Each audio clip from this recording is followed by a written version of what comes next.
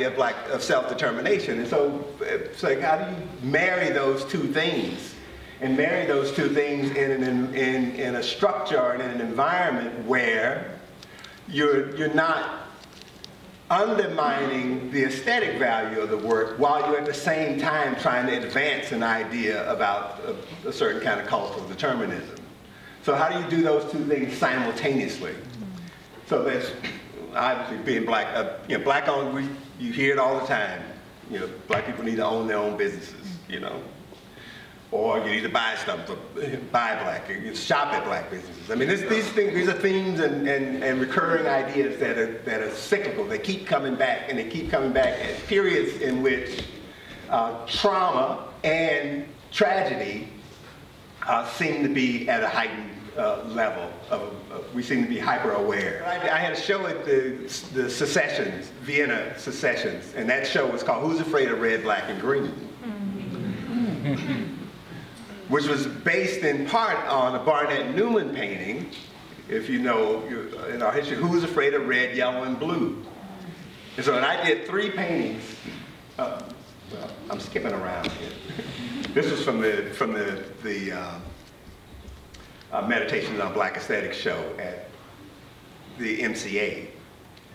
And so it's a way in which you sort of, you can take, you can take uh, cultural, ideas that are culturally specific and culturally re relevant, and you can put them in a formal configuration that sort of explores two different dynamics simultaneously. In the same way that the, that black figure in the portrait of the artist as a shadow of his former self was also about a kind of simultaneity. Can you have presence and absence simultaneously? And have those both embodied in a single image. But as I was saying about that, Who's Afraid of Red, uh, Black and Green, and the Barnett Newman, Who's Afraid of Red, Yellow, and Blue. This painting, which is in the show at, at uh, LA MoCA, is one of us, it's like a triptych. And so what I did with the Barnett Newman painting, so Barnett Newman's painting was Who's Afraid of Red, Yellow, and Blue. And on each end of the, he had a, a big color field painting, and on each end of it, there was, a, uh, there was a red painting with a blue stripe and a yellow stripe, and those stripes he called zips. And so, but I, and, and, and the, the effect of color field painting was supposed to create this space in which you can have an experience that's like transcendence.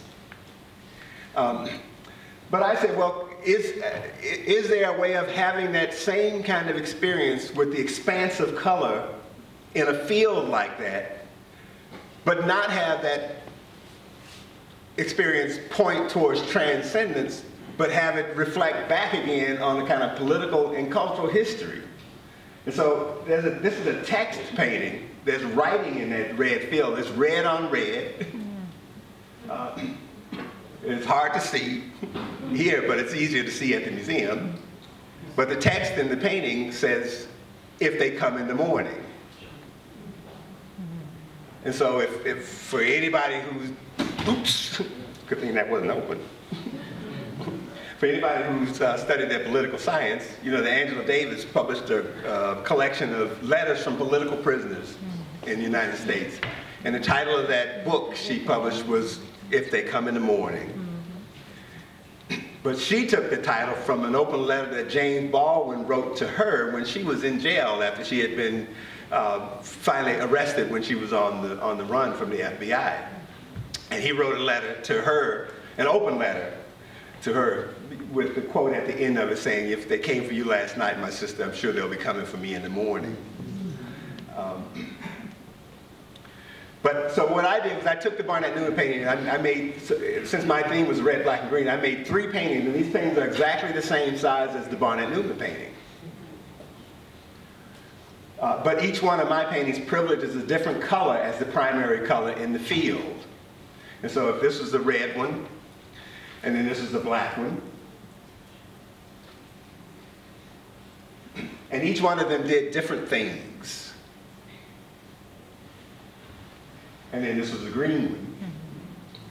So these are all the, nine feet, eight feet by 18 feet. So, and so, but it's the way in which you can kind of, you can do, you, you can always do two things at once, which is what I'm always trying to do. is that uh, to at once be socially engaged, politically engaged, culturally engaged, but to also be aesthetically engaged. Because after all, when you're making a painting, you're making a painting. And the painting has to work as paintings do, regardless of what's in the painting. So that's so this is a, this is one way of, of dealing with history. So this is dealing with art history and with cultural history. And so this is also dealing with, with ideas about abstraction and representation as well. So this is obviously a tree with some leaves and some birds, and then there's some buildings. Uh, the buildings in the back behind the tree, a black one and a red one, so you got a red, black, and a green. Those function in the same way the zips would function in the Barnett Newman painting. But you can have them do those kinds of things, but you can have them also refer to or represent other things. So this is actually a kind of a, uh, um, it's a kind of a representation of James Baldwin's book, The Fire Next Time. I always considered myself a history painter. Uh, in, in, the broadest sense of the terms, you know, and, and, and in the way we understand art history, history painting was the more privileged discipline in the history, in, in, in the way we think about art. Because it was the thing that required the most intellectual investment and the highest degree of skill in order to realize uh, adequately. So this is what everybody who was going to the academy, who was studying, you know, and looking at Leonardo, looking at Michelangelo, looking at, this is what they wanted to do. They wanted to be able to demonstrate their intellectual capacity, their organizational skills, their compositional skills, their, their, the way of managing figures, all those things, all of that stuff was supposed to be able to come together in these things called history paintings. Uh, portrait painting was one of the lowest levels of performance that artists could be invested in. They only did, and they did, but that was the only way they could really make money. Like artists only really made their living really by doing portraits. Um, especially after the period in which the church was the primary uh, patron for what artists did. Um, and so artists, so those salons in Europe were an opportunity for artists to do these giant history paintings to demonstrate what they could do so that people get excited about those works. That work would be bought by either the king or by the state. And then the people who couldn't buy that work, you know, the barons and the duchess and people like that, they would get their portrait painted by that artist because he was the hot artist of the moment. That's how it worked. But I do uh, portraits that are about historical figures who have a, a meaningful uh, presence in American history, but for whom there are no images that represent them. And so these next four pictures are part of a, a group called the Stono Group. And we know one of the earliest slave rebellions in the United States in the 18th century, this is before the 19th century, but in the 18th century, was a rebellion in, in uh, North Carolina near the Stono River by a group of slaves who, had, who very nearly managed to get to St. Augustine, Florida, where the Spanish had promised that anybody who could escape to St. Augustine would be made free. So they were on their way, but they made a fatal mistake. A fatal mistake, because they had started out, they were cutting heads for on their way. and they stopped. They, they, they, they, they were feeling too good about themselves. They stopped and started having a party, basically. and that gave people in the, in the, town enough time to reorganize, regroup, and cut them off before they got across the river, and that was the end of that. So all of the leaders, well, everybody was effectively killed uh, and hung but I made a, a group of portraits that were, the, the man who was the leader of the group was named Cato or Jimmy. And so all of these images are actually of the person who was the leader of that of the group. It was also it was the Stono Rebellion, also known as Cato's Rebellion. And so I made some images of the, all these figures on, this is at, the, at dawn, with the breaking of dawn on the gallows. And you can see each one, variations on the name Cato, or Jimmy, or Jimmy Cato, with a K or with a C or with an I or with a Y. I mean, it's, uh, there's just variations on it, but these are all re representatives of the Stono group, the Stono rebels. And through the four paintings, you see it starts out at just at daybreak and then the day brightens. uh, but there are also figures like this one, the painting of John Punch, who is another figure who, around whom the idea of black people as slaves for life was codified.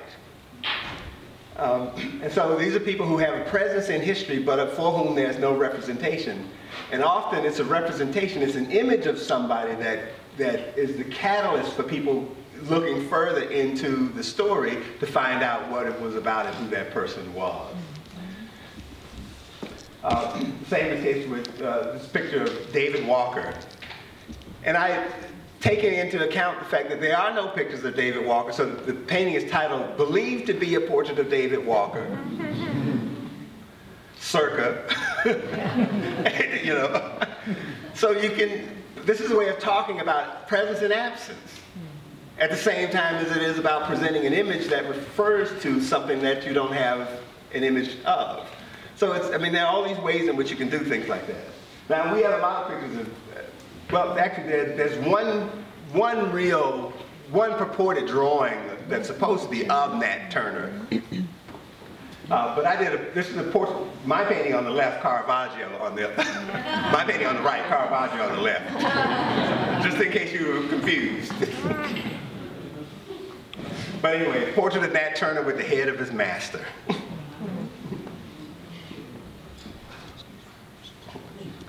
um, but so let me just let me just show some stuff uh, so I can leave some. So now th that cartoon, those comic strips have sort of come back into play. Um, and the show Mastry is based on the way in which I use the term master in my this comic strip I've been developing called Rythm Mastr. Um, uh, but it also has the museum as a part of its origin as well. So that corridor where those figures are, that is the, that used to be the African Art Corridor at the Art Institute in Chicago. That's where it all starts. and it's a way in which those figures that are in the vitrines become animated as a series of power figures and superhero characters that can then engage in a more extended kind of epic narrative story. And so that's how it started. And it, it started with this project in this form called Dailies. And it's looking at the way in which you pick up, the, you used, to be able to pick up a daily comic strip and not see a black cartoon character in there anywhere. it's still pretty much like that. but getting a little bit, a little bit better. But so I've developed this whole epic story that I won't go into. Uh, but you, you get the idea. So it's all, it's all about art, it's all about representation, it's all about forms, uh, but it's also about history and it's also about culture.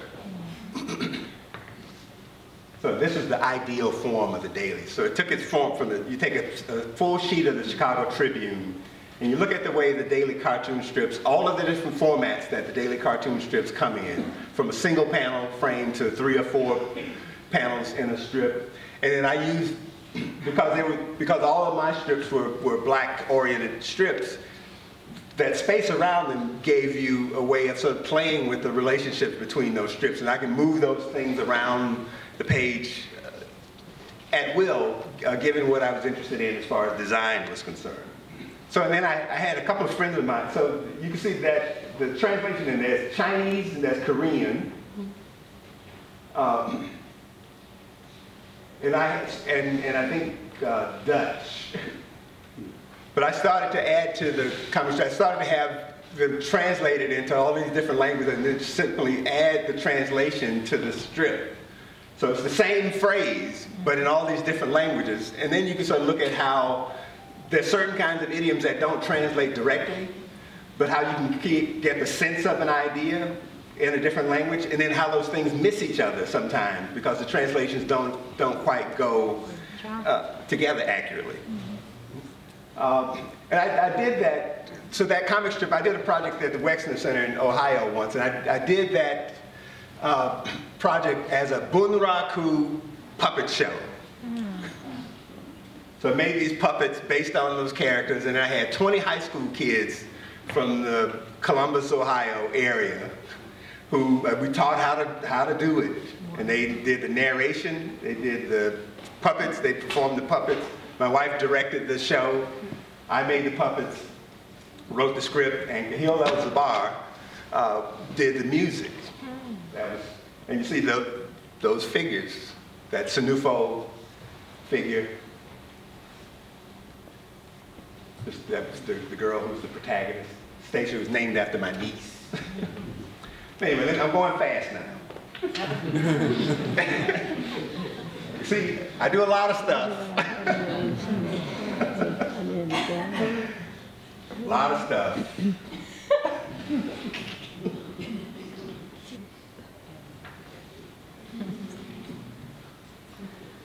Okay, so here's just like painting and animation. So this is a suite of five paintings. And the point of it is so they do that, oops, it won't go back. oh, so art has a commodity. So can you do aesthetics and commodification at the same time? you know, why pay more for one thing as opposed to another thing? Because it has some, in, does it have some intrinsic value that you uh, uh, acknowledging by paying more, or is, so what if, uh, is that low, low price? Each one of them about the, and that, so that's the show that those were in, along with those coins, and that those coins are part of a thing called the 99 cent piece. It's 99 cents in change. but with the, that quarter, it's five feet in diameter, and they're gilded so it's three quarters a dime, two nickels, and four pennies. And it's done like a scatter sculpture. All right. Big print. Paintings, paintings, paintings. oh, we're running out of time. Uh, uh, the color of these photographs, so, it, it, so what these sort of point to is that in, in the work, it's like I explained earlier, the work that I do is always about the nature of being the thing that it is at the same time that it's about the subject matter that's in it.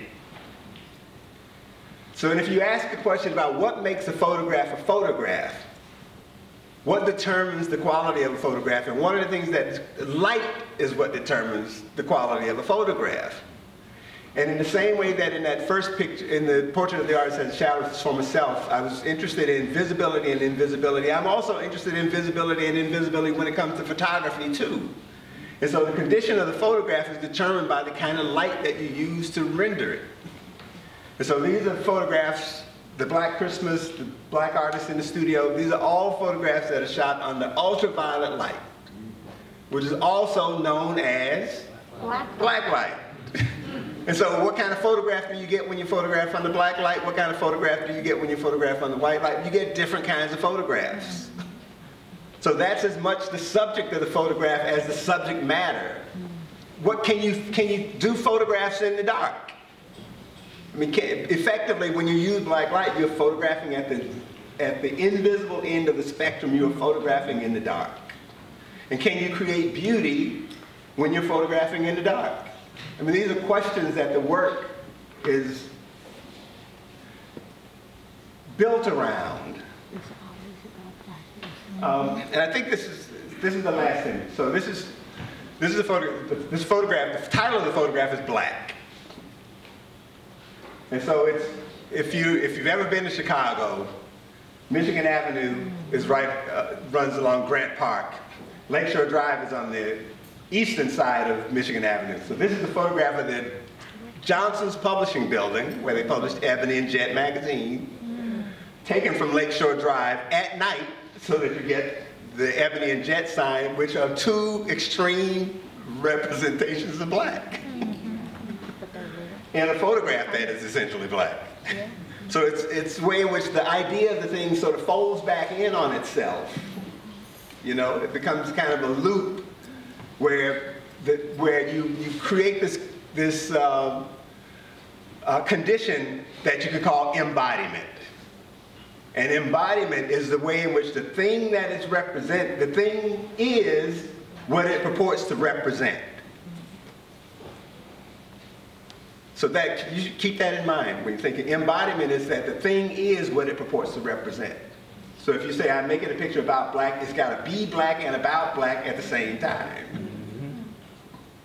So anyway, uh, you get a sense. Now we now we, we're at the Q and A section of the of the talk. So you get a sense. This is how I think about what I do. This is why that's and why is there so much variety in what I do? Because I also have this idea that if you want to if you want to have any say in how you participate in the larger art world that you might be going to school to be a part of, then you have to put yourself in a position where there can't be people in the world who will claim to know more about what you're doing than you do. So, and if somebody says something to you about a thing, you have to say, I have something to say about that too. That you can never be in a position where you can't participate at the highest level at criticality or anything else. You can't be outside the conversation if you want to participate in the game. You got to be in it to win it. and you got to be playing for keeps. Because there's no halfway, there's no halfway to be a part of it. Because halfway, you know, was, it's like halfway is a bench player on the Lakers who never gets in the game. and he was only used as a trading token so they can get somebody else who can play better. That's halfway. so, anyway, I'm in it for the, I'm in it for everything that it's worth. Thank you.